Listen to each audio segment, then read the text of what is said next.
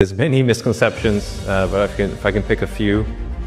One is just having the wrong mentality to change. Uh, what I know is of today, there's 100 trillion committed to AI in terms of investment from the private equity, VC, and government world. And that's going to increase to 500 trillion over the next five years. And I only see two outcomes out of that. Either AI is going to be truly everything it's supposed to be eventually, or it's going to be forced to be as investors and countries and people who have invested in this technology uh, need to get a return on their investment.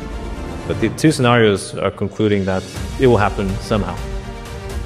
So a, a very large misconception I see is, oh, I won't do it now. It's advancing at such a fast pace. I'll wait until it becomes better. There's a perfect storm happening, not just in AI, but we also have quantum computing advancing significantly. We have much more powerful processing chips, better memory, ability to store.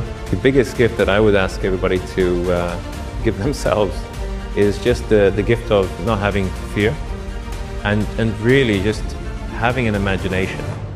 You know, go, go back to process re-engineering. Just look at what your company does, what your governments do, and just try to reimagine how could it be with an AI super kick next year.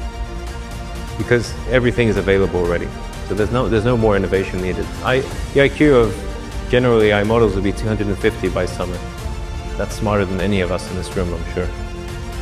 So innovation is great. It's going to get better, especially around algorithms getting more energy efficient so that we don't have to damage the environment as much. I was so worried about this that I actually invested in a solar energy company because I want to offset my carbon footprint. So that's why I made that investment. I think we have everything we need. Just imagination and the right attitude is everything we've got to push through now and stop just waiting for things to happen.